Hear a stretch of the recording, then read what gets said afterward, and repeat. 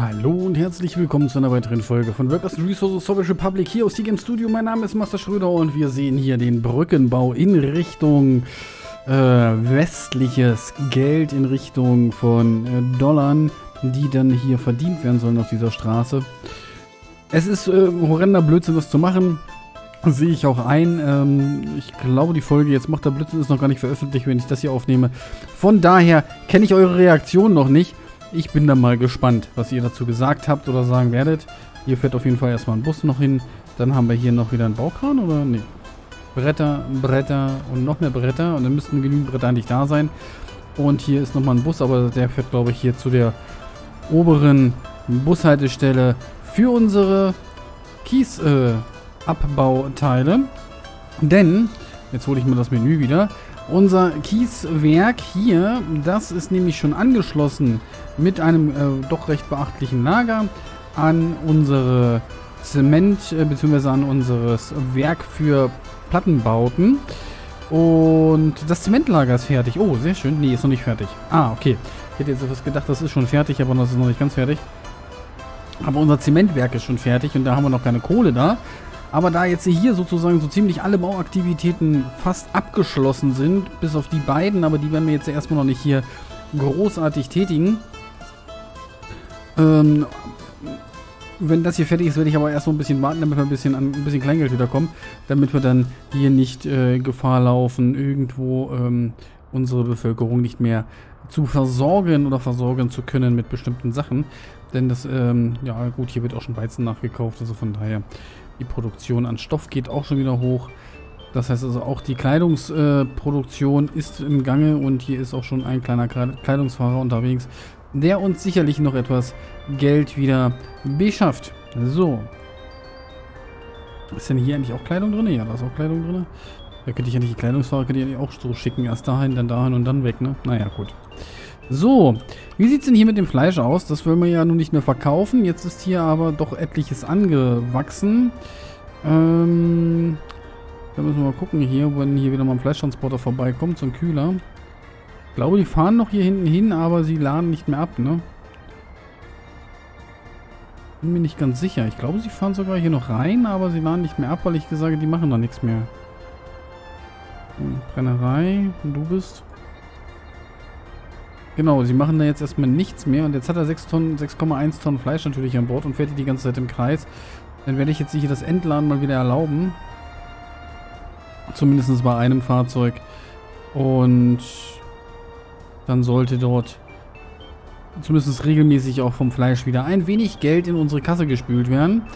Ähm, das ist ja nicht äh, zu verachten. So, wie sieht es hier aus? Ah, hier, der ist glaube ich auch gerade unterwegs. Wo ist er denn? Moment, alle verbundenen Fahrzeuge. Dieses Fahrzeug hätte ich jetzt ganz gerne mal. Ich will mal ganz gerne gucken, wo er gerade lang fährt. So, der W50 abgedeckt ist unterwegs.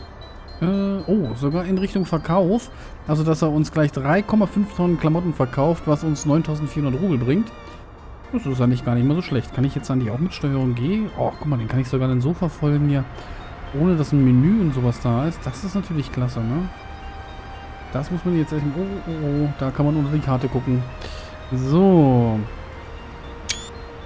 Verfolgen wir mal unseren schönen LKW hier beim Verkauf von Kleidung. Äh, den schönen IFA V50. Und da muss ich ja sagen, in so einem Fahrzeug habe ich wirklich auch selber drin gesessen. Also da auf Beifahrerseite. Denn, ähm, Geschichte aus der Kindheit, wirklich aus der Kindheit. Das war auch das erste Mal, dass ich McDonalds gesehen habe. Nicht von innen, aber dass ich ihn gesehen habe. Ähm, damals mein Vater, der das, den LKW gefahren ist, der wollte halt nicht, dass ich da, dass wir bei McDonalds essen, weil ihm das selber halt zu ekelborstig war oder wie auch immer. Niemals wollte er das nicht. Und deswegen habe ich damals den McDonalds nicht von innen gesehen, aber ähm, in meinem Heimatort wurde Spargel angepflanzt. Das gar nicht mal so wenig. Ähm, und der wurde dann äh, Oh, mal gucken, wo jetzt, was jetzt die Kamera macht. Ah ja, springt einfach nicht, bleibt hier. Ähm, und der wurde dann am Tage quasi in dem... Oh, sag mal ein Bild von, das sieht besser aus. Ähm, der wurde am Tage äh, von den äh, lokal halt verkauft. Und alles, was nicht verkauft wurde, musste dann halt eben mit einem Transporter in Richtung eines äh, Gemüsegroßhändlers gebracht werden. Äh, dieser stand oder war in Winsen an der Luhr. Keine Ahnung, ob ihr das kennt. Ähm, macht auch nichts. Oder beziehungsweise in der Nähe von Vincent in der Lu irgendwo. Und ähm, da sind wir dann immer hingefahren äh, mit dem W50 und das, die Strecke war nicht kurz. Also das sind, äh, also Elbuferstraße sind wir dann immer hochgefahren eine ganze Weile und dann über Lüneburg äh, da hingekommen. Nach Vincent in der Lu. Also das, das, das war ähm, schon eine ordentliche Strecke, also die man da zurücklegen musste. Und das war so ein W50, der dann so maximal 80 fuhr mit einem, äh, sagen wir mal, der Motor ist ja beim W50 quasi in der Fahrerkabine. Also man hat jetzt, wenn man sich das mal so vorstellt, ich weiß nicht, ob ihr schon mal in einem W50 drin gesessen habt. Einfach eine Geschichte aus dem Leben wieder. Ähm, der Fahrer sitzt quasi so mit Lenkrad und hat seine Pedalerie und quasi da, wo rechts von sich fängt die Motorabdeckung dann an, ne? Also man sieht ja vorne den, den, den Kühler jetzt hier, ne? Äh, warte mal, wir gucken mal von vorne auf das Auto. Muss ich die Taste drücken, so. Wir gucken jetzt hier mal von vorne aufs Auto. Man sieht ja hier diese Kühlerrippen, ne? Die gehen ja bis da oben hoch und dieser komische silberkleine Klauf da äh, zwischen der... Warte mal, jetzt machen wir hier meine Maus mal an. Äh, hier, da ist, da wo der große rote Knopf äh, ist, da ist so ein kleiner Silberknopf. Das ist zum Beispiel die Öffnung für die Kühlflüssigkeit. Also da kann man, kommt die Kühlflüssigkeit. In der Höhe geht quasi die Motorhaube in dem Fahrerhaus weiter auf dieser ganzen Breite, wie die, äh, wie diese Kühlerteile hier sind. Also hier an der Seite sind ja so kleine Kühlereinlässe nochmal. Die sind aber nicht so wichtig. Das kann man ich glaube, die, die, die Kabine klappt man dann nach oben. Oder? Nee, nee, da war das nicht mit Klappen. Da kommt man das innen drin. Und das war natürlich alles nicht so sonderlich dolle gedämpft. Also man hat den Motor sehr, sehr gut ähm, im Fahrzeug auch hören können. Ähm, bei der Fahrt. Und das war auch ähm, alles andere als leise. Und ähm, ja, aber äh, man ist damit damals halt eben wirklich etliche Kilometer weit gekommen und auch mal gefahren. Also so ist es nicht, ne? Also das hat funktioniert und ähm, vielleicht nicht schön, aber es hat funktioniert. Und das war äh, doch schon, also war schon, war schon interessant, muss ich ehrlich sagen. Also ich habe jetzt ähm, die Zeit, in der ich dort äh, mit ähm, unterwegs war und, und auch dann, dann, wenn man sich das so alles angeguckt hat, das war schon, war schon auch schön. Also es war, war schon nicht schlecht. Hat schon Spaß gemacht. So, wir wollen ja ein bisschen Geld sparen noch, äh, damit wir uns jetzt den Bau von anderen Sachen leisten können. Aber was ich jetzt einmal tun werde, ist, ich werde das Zementwerk jetzt in Betrieb nehmen. Das heißt, ich werde jetzt einmalig äh, das Lager mit 50 Tonnen Kohle voll kaufen. Ich hoffe, dass ich mir das leisten kann. 50 Tonnen Kohle sollten nicht allzu teuer sein. Ähm, 52 Tonnen, ja komm, die hauen wir hier mal rein. Und dann lassen wir das Zementwerk mal richtig ackern hier. Da sind auch ein Haufen Leute drin, die stellen auch äh, gleich fleißig Zement her.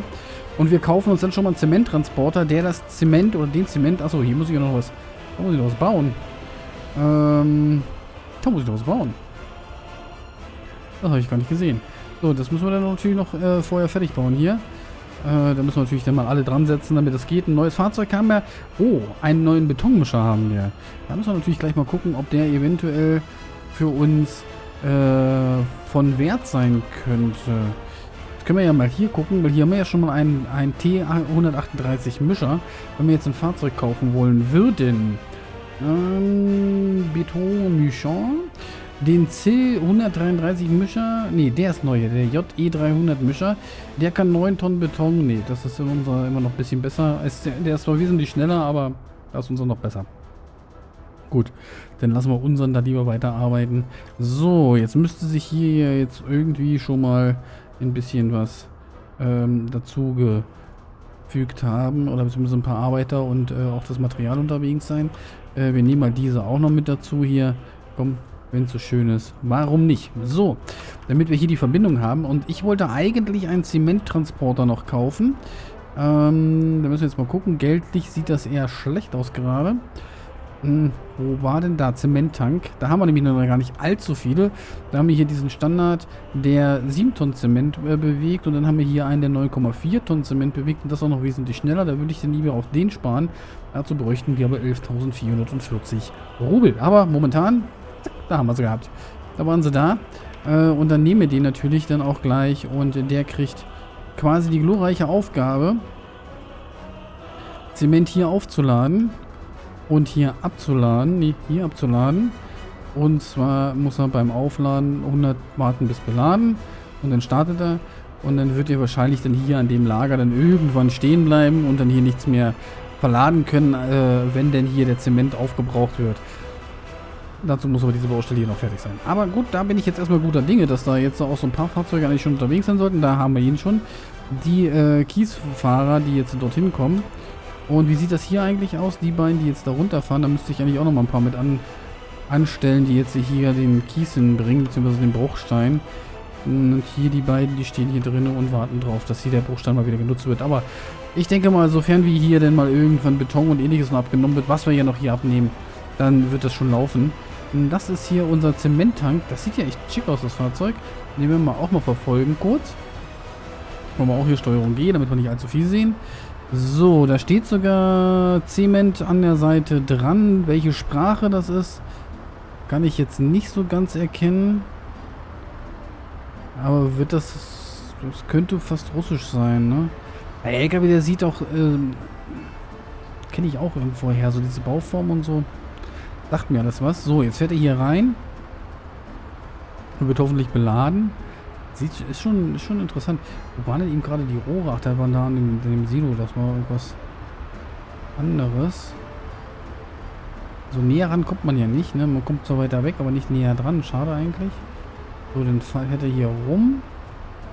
Durch die Wiese durch. Nee, da jetzt so rüber über die Straße. Wunderschön. Also, ich sag mal so, dass unser, unser BHG hier, das ist schon eigentlich ganz ordentlich aufgebaut. Oh, jetzt hätte ich erwartet, dass er erstmal tanken fährt, aber das wird er wahrscheinlich machen, kurz bevor er in unserem großen Lager ablädt. Und das ist hier schon sehr, sehr industriell, das Gebiet. Das muss man schon sagen. Also, das hat schon... Hat schon eigentlich... Ich finde, das hat Hand und Fuß. Das ist schon ganz gut geworden. So. Da muss man nochmal irgendwo was drüber gebaut werden. Das kommt aber noch. So, dann geht's hier ab. Und dann sehen wir schon hier zu der ganzen äh, Sache wurde jetzt quasi die, der Bulldozer geliefert. Zack. Was ist jetzt gemacht? Ui, was ist mit ihm los? Jetzt ist er sich uneins. Womit ist er sich denn jetzt so uneins gewesen? Ist es denn doch der Kraftstoffverbrauch jetzt? Aber er hat jetzt mal kein Zement abgeladen. Fährt er denn jetzt dahin? Ja, ja, zur Tankstelle fährt er hin. Gut, das ist doch erstmal der Kraftstoffverbrauch gewesen der ihm da jetzt so ein bisschen leicht zum Ausrasten brachte, wo er doch ein wenig irritiert war. Interessant, das ist die Red Star äh, Spritkompanie, keine Ahnung. Äh, Yellow Shell und so kennt man ja auch noch, ne? Und, und, und. Naja, egal. Reden wir nicht weiter drüber. Ist halt so. Gut, okay, jetzt wollte ich aber nochmal gucken, wenn er da ablädt. Ein bisschen Ei an die Räder hier, ne? Durch die, die, die Färbung sieht das ein bisschen schrecklich aus, als wenn da irgendwas kaputt ist. Naja. Aber schön, also es ist schön gemacht, es ist schön animiert und so. Ist schon klasse gemacht. Da muss man wieder sagen, also da geben sie sich echt Mühe hier. Also, die Macher, also der oder die Macher des Spiels, ich weiß gar nicht, wie viele das sind. Aber die geben sich echt Mühe. So, jetzt haben wir hier in unserem Zementwerk den ersten Zement von 9,32 Tonnen. Sehr schön. So, gut, dann machen wir die Ansicht mal weg. Gut, also das haben wir geschafft, dass wir jetzt quasi das Zementwerk erstmal so weit haben, dass hier von, äh, dass hier auch ein bisschen was produziert wird, dass denn hier Kies nachgeliefert werden muss und das ist nicht wenig, was die nachliefern müssen hierhin. Ähm, das ist auch noch sowas, das wird ja nicht aus dem Lager genommen, sondern das wird ja hier direkt von denen genommen. Müsste, hätte man vielleicht auch so ein Mini-Lager noch dazwischen setzen müssen irgendwie oder können. Aber gut, wenn hier quasi dann die LKWs ankommen, dann funktioniert das ja auch und der Zement wird hergestellt. Gut, dann müssen wir dann mal irgendwann nochmal zwei, drei Kipper kaufen, die dann hier zwischen den beiden da, Dingen da pendeln, damit wir dort kontinuierlich an äh, Kies kommen. Gut, 8800, also wir schwanken jetzt gerade so ein bisschen um die 10 Kilo, ähm, aber es ist ja nicht weiter schlimm. So, jetzt ist hier schon mal zumindest ein Teil fertig. Hier sind 41 Leute auf der Baustelle. Interessant, äh, wie viele Leute sich hier anfinden ähm, um dort eine Straße zu bauen. Dann gucken wir mal, was, wo, was wird da transportiert. Da wird der Asphaltleger transportiert. Da müssten ja eigentlich auch so, so ein paar LKWs hier in der Asphaltanlage stehen. Tun es auch. Da steht schon mindestens einer drin. Der holt schon mal 10 Tonnen Asphalt. Ich glaube, viel mehr brauchen wir hier auch gar nicht mehr. Das ist hier, glaube ich, gar nicht so teuer. Ja, 10 Tonnen Asphalt. Also das sollte sich relativ schnell geklärt haben. So. Gucken wir mal zum Bauprojekt in... Oh, oh, die Brücke ist fertig. Die Brücke ist fertig und wir haben ja gesagt, wir nehmen den Logger, äh, den Holzlogger, der quasi jetzt da verbunden ist. Oh, ein schneller Flug jetzt hier. So. Wenn der hier verbunden ist mit dem Teil, da ist ein Logger verbunden. Und der wird jetzt nicht mehr dorthin fahren, sondern der kriegt jetzt den glorreichen Auftrag, quasi uns äh, äh, Dollar zu verdienen. Und zwar mit jeder Fahrt verdient er uns jetzt äh, ähm, 466 Dollar. Äh, nee, da nicht hin. Hm, bist du gerade noch beladen? Ja, du bist auch noch beladen. Dann fahr erstmal dahin. So, da sollst du hin. Äh, die Sache ist die, der ist äh, ungelogen wahrscheinlich einen ganzen Monat unterwegs. Wir werden das natürlich dann in der, in der Statistik sehen, in unserer äh, Verkaufsstatistik. Äh, der wird vielleicht das Problem sogar, dass er da hinten ankommt, keinen Sprit mehr hat, wieder zurückfährt zum Tanken und dann wieder dahin fährt und nicht ankommt, weil er keinen Sprit mehr hat oder so. Das äh, wäre durchaus äh, eine Option, die uns da jetzt blühen könnte. Aber das sehen wir dann. Gut, okay. So, das haben wir, das haben wir, das haben wir. Aber noch irgendwas, was ich jetzt unbedingt machen wollte? Achso, ich wollte jetzt nochmal dann gucken hier wegen den LKWs für das, den Transport, weil der Transport mit dem, mit dem Zement, ich glaube, der eine LKW, der das jetzt wirklich kontinuierlich zwischen diesem Punkt und diesem Punkt hin und her transportiert, der wird äh, durchaus ähm, ausreichen. Ähm, zumindest fürs Erste. So, äh, kann ich hier auch Fahrzeuge drin kaufen? Nee, konnte ich nur die Bagger drin kaufen, oder? Doch, nee, neues Fahrzeug kaufen. Ah, nein, ich kann bloß Bagger kaufen hier drin. Alles klar. Gut, dann gehen wir jetzt nochmal zu unserem Bauhof hier und dann gucken wir mal nochmal nach interessanten Kippern für uns. Aber ich denke mal, es wird auf den, den Kipper hier zu hinauslaufen. 12 Tonnen Bruchstein. Kann man die eigentlich danach sortieren? Zeige alles, okay. Äh, kann man die nachher nicht sortieren nach der Ladung? Der hat auch 12 Tonnen, fährt 60 km/h und der fährt 70 km/h. Der ist also noch schneller. Dann haben wir 50 Kipper. Der ist zwar schön und der hat 9 Tonnen bei 80 km/h. Naja, gut. Also um die Geschwindigkeit geht es uns eigentlich erstmal nicht. Kaufen uns noch einen davon. Du kriegst quasi den Auftrag. Fahre dorthin. Ähm, ah ja, hier ist jetzt, glaube ich, unser... Der jetzt auf den... Der sich auf den Weg macht in Richtung... Ganz weit weg. Also wenn wir das mal irgendwann mit Kies voll lagern oder so und da wirklich sagen, okay, hol mal da den ganzen Kies äh, dafür her und mach das mal, dann wird das bestimmt sehr interessant. So, äh, zur BRG Kiesgrube und danach dorthin und dann startest du mal. Und wenn wir das nächste Mal das Geld wieder zusammen haben, dann schicken wir noch einen dorthin. So, also gefühlt würde ich sagen, kommt der nicht dort hinten an, äh, bevor sein Tank leer ist. Wir gucken da mal näher rein oder nach und nach rein. Bloß wenn ich da irgendwo eine Tankstelle jetzt auf der halben Strecke, könnte ich eine hinbauen, aber das kostet ja auch nochmal ähnlich viel Geld. Also das, den Feldweg da jetzt hinbauen, das hat nichts, fast nichts gekostet. Die ähm, Brücke, die Holzbrücke da bauen, hat auch fast nichts gekostet. Das teuerste ist nur der LKW, glaube ich, auf dieser ganzen Straße. Äh, müssen wir mal gucken, wenn wir dann, aber, ne, mal wieder über 10.000 Dollar haben, dann ist ja auch nicht schlecht. Vielleicht kann man ja auch für Dollar mal so ein äh, Fahrzeug kaufen oder so. Das, ähm, dann genau da quasi arbeitet an der Sache. So, denn hier hinten haben wir ja auch gar keine Bauindustrie äh, quasi vorrätig. Also wir könnten ja theoretisch ihm sagen, ja Mensch, hol das Material mal von da hinten. Das kriegen wir hin, wenn wir denn da hinten ein kleines Städtchen aufbauen wollen. Kommt alles noch. Kommt alles noch. Also wir haben hier, also ich denke mal, wir werden ein Jahr täglich eine Folge. Das kriegen wir, glaube ich, hin hier bei dem Spiel. Weiß ich noch nicht. Ähm, aber mo momentan sieht es wirklich ganz gut aus. Also mir gefällt das Spiel wirklich sehr. Ich habe da Spaß dran, immer wieder was Neues zu bauen und das mal auszuprobieren und dass es noch funktioniert. Und, ähm, es ist nicht so, dass man hier den... Also man, man kann sicherlich auch so spielen, dass man wesentlich schneller finanziellen Erfolg hat. Das möchte ich nicht in Abrede stellen. Ähm, aber so, wenn man das so langsam, aber sicher für sich aufbaut und dann... Ich, ich lerne dabei. Ne? Und ich lerne gerne. So, Gut, dann holen wir uns jetzt ein Kipperchen hier. Diesen da. Und den schicken wir jetzt dann zu dieser und danach dorthin. Und dann startest du. Und dann, achso, jetzt hätte ich noch sagen müssen, dass du dich voll laden musst, ne? Naja, warte mal. Ist hier nicht gesagt. Warten bis voll, ja. BRK Kieskurve 3. Äh, Routenplan, warten bis voll. So. Dann müssen wir mal hier die beiden Fahrzeuge nochmal angucken, ob ich da auch das Warten bis voll angekreuzt habe oder nicht. Ja. Nein. So, da haben wir den Salat nämlich schon wieder. Die werden nämlich so ein bisschen hin und her gefahren mit auch halbvollen Tank. So, hier kommt ein Bus zurück. Der hat da ein paar Arbeiter hingefahren. Oh, das ist ganz okay. So. Gut, also hier der Bruchstein wird relativ schnell verarbeitet. Das ist schon mal gut. Es äh, wird hier auch ziemlich schnell verarbeitet. Also der Kies, die 75 Tonnen, die waren ruckzuck weg, ne? Rucki Lecki. So. Ähm, da kriegen wir fast gar nicht genug Kies wieder ran. Dann muss ich vielleicht doch von hier aus nochmal mit da anschließen. Kann ich ja nicht hier zwei? Ne, da kann ich nur einen anschließen. Ne? Einen rein und dann zwei raus. Naja, der geht aber dahin schon, ja. Hm, naja, wir werden gucken. Wie sich das hier so verhält. Ob jetzt der Kies ausreicht, den wir hier produziert haben. So, jetzt gucken wir mal, wie viel ist hier noch drin. Da sind noch 33 Tonnen Zement drin. Das hätte ich jetzt gar nicht erwartet. Weil ich eigentlich gedacht hätte, dass die sich den Zement von dort holen. Machen sie auch. Und die produzieren ja auch. Und kriegen ja mal Kies dazu. Und die Platten werden gefertigt. Aber es sind relativ wenig Leute hier drin. 8 von maximal 10. Mehr habe ich hier nicht zugelassen. Na gut, okay. Aber sie produzieren ja auch fleißig. Also über 127 ähm, Tonnen von Platten vorgefertigt. Das äh, könnte beim Plattenbau dann demnächst, wenn wir die Stadt aufbauen und erweitern, natürlich sehr viel Schönes für uns bringen. So, gut. Wollen wir doch mal gucken, wie weit ist denn unser Logger hier? So, er hat 104 Liter und er ist jetzt gerade bei der Brücke. Brücke.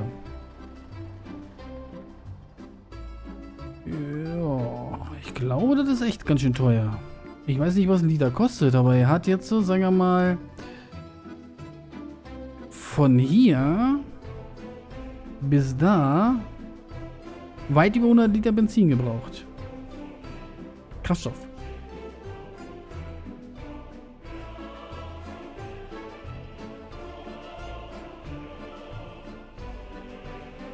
Ähm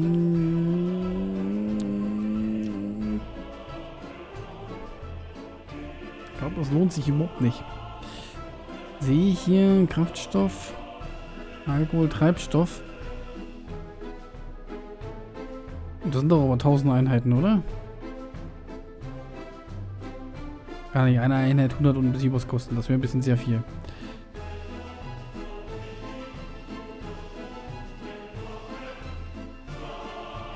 Hm. Das ist wirklich totaler Blödsinn. So, das ein Tank ist also leer, wenn er da ist.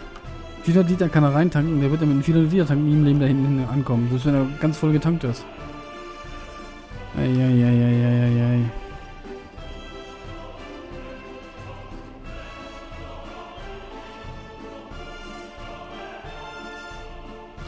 Also ich kann ihm natürlich hier eine Tankstelle hinstellen. Dann kann man ja für Dollar voll, voll tanken lassen. Und dann werden wir merken, dass das ein absolutes ja, Schnapsidee ist, ne? Ist eine Schnapsidee. Aber ich hatte sie und ich wollte es mal ausprobieren und naja, wir lernen ja dazu, ne? Wir werden ja, wir werden ja nur klüger. Aus Fehlern lernt man ja. Ähm, das ist ja eine wunderschöne Eigenschaft, die man als Mensch hat. Manchmal macht man den gleichen Fehler 5, 6 Mal, aber hey, hey, hey, hey. Es sieht doch so aus, als wenn er die Buchen hier mit wegschlägt. Weil ich glaube, die Lücke war hier Nie im Leben alles Nadelbaum. Das sieht sehr gut aus. Er hat auch noch... Oh ja. Liegt auch mehr, noch, mehr als noch Holz rum hier. Gut. So, der Zementfahrer, der fährt immer fleißig im Kreis. Ja, hat immer 34 Tonnen. Bleiben wir mal hier so in etwa. Und wie viel wir hier jetzt sind. Da haben wir jetzt 50 Tonnen angesammelt von 270. Also der wird irgendwann dann da nicht mehr abladen können. Wollen wir ihm auch noch sagen, dass er entladen soll bis 100%? Damit er denn, wenn er denn voll ist, äh, nicht voll wieder nach dahin fährt, sich auflädt voll, dann dahin fährt, aber nichts abladen kann und da wieder hinfährt. Und dann lassen die auch noch hier warten, bis er dann komplett leer ist. Das hat dann äh, mehr Effekt. Das sieht auch schön aus eigentlich, das Gebäude, ne? Also da muss man ja auch sagen, da haben sie sich ja was einfallen lassen. Ne? Da oben auf diese Silos so eine Glasfront. Weiß ich gar nicht, was das für einen Sinn hat. Oder arbeiten da Leute drin? Die, könnte die Mischanlage drin sein, die quasi dieses Betongemisch fertig macht. Aus äh, Kies und ja, Zement wird hinten reingefahren. Ja, das könnte sein. Und dann kommt hier das Betongelöt an und dann wird das hier drinnen quasi in Form gepresst. Ein bisschen Verwaltung ist hier noch drin. Also hier die Räume hier vorne sehen aus wie Verwaltung, aber das ist dann doch schon eher Werkhalle. Und da werden die Platten gepresst und dann kommen die aus dem Werk wieder raus. Ja, könnte sein. Ich weiß es nicht. Aber es sieht interessant aus. So, unsere Pappeln. Wie gesagt, die Pappeln, die wachsen am schnellsten. Ne? Das sieht man hier auch wirklich jetzt. Ne? Unsere Pappeln, die sind hier schon richtig groß geworden und stehen hier natürlich jetzt schon zur Verfügung als äh, Sichtschutz bzw. als äh, wunderschöne Begrünung. Und unsere Akazien sind natürlich noch wesentlich kleiner. Ja, das war, das war halt Pappelbau. Das ist auch das... Ach Gottchen, hier ist er direkt ah, vor der Tür hingestellt. Eieiei. Ähm, das ist auch das, äh, was ich damit meinte, halt eben, ne, das wächst halt am schnellsten, das wächst wie Unkraut und das wurde halt eben doch wirklich viel genutzt im Ostblock. So, gut, aber unsere äh, knappe halbe Stunde ist jetzt schon miteinander wieder vorbei. Wir gucken mal, ob unser LKW, der hat jetzt da so ein Symbol dran, der aussieht, als wenn er tanken müsste. Der ist auch noch liegen geblieben.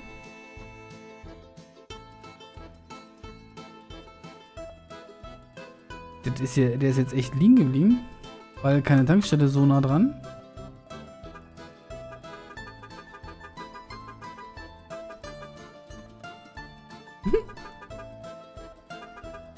Die arme Sau. Der findet keine Tankstelle in seiner Nähe. Die nächstbeste Tankstelle ist hier hinten, ne? Ja, dann müssen wir hier auf halbe Strecke müssen wir eine Tankstelle hinbauen anscheinend. Bleibt uns jetzt nichts anderes über. Das ist ja nun, ne? Das können wir ja nun nicht hier brauchen. So. Ja, das ist wirklich, also kompletter Blödsinn. Horrender Blödsinn. Ähm, bitte bestraft mich nicht zu sehr dafür, ne? Also, wie gesagt, ich habe es erkannt, das ist totaler Blödsinn. Jetzt ziehe ich es aber natürlich auch noch durch, weil ich einmal sage so, hey komm, äh, ich habe den Blödsinn einmal angefangen und jetzt stehe ich dazu, dass ich Blödsinn mache. So, dann werden wir jetzt hier mal eine Tankstelle hinstellen, damit er eine Tankstelle findet. Wir befinden einen freien Bagger im Konstruktionsbüro, das ist jetzt das nächste. Ich kann die jetzt hier nicht hinstellen, weil ich hier kein flaches Land finde. Würde ich mir gerne hier in die Nähe stellen, muss ich ehrlich sagen. Warte mal, dabei eine Stelle. So, wo sie auch wollte. Dann können wir hier ganz schnell mal... Wir Rubel finanzieren das Ding. So. Ja, jetzt erkennt er, dass hier eine Tankstelle für ihn ist und jetzt fährt er hier dann auch ran. Die war jetzt in seiner Nähe. Neues Fahrzeug, ja. Und dann geht er hier auch tanken. Und dann macht er erstmal seinen Job weiter.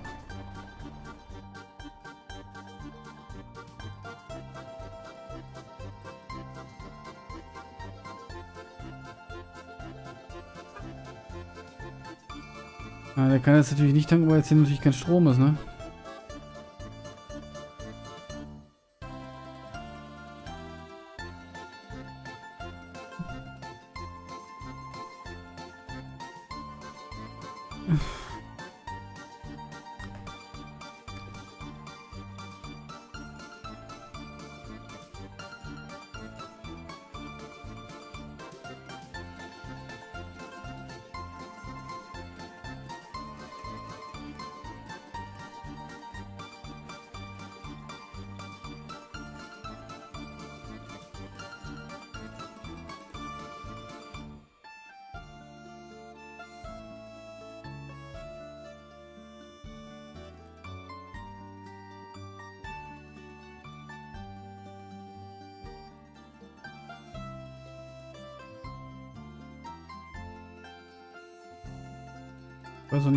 Noch nicht, ob ich über den Fluss komme. Werden wir gleich erfahren.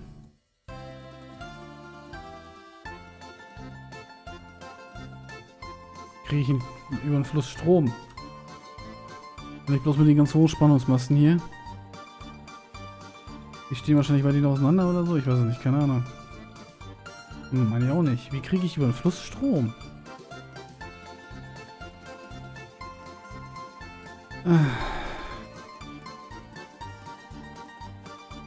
Kann jetzt hier nicht ein Kraftwerk deswegen hinbauen.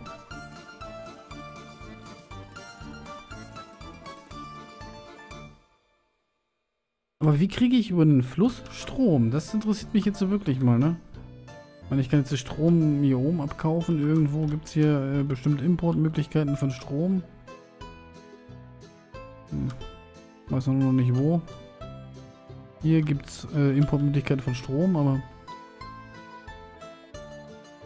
Man muss doch Strom auch über den Fluss kriegen. Gibt es da Strombrücken oder so?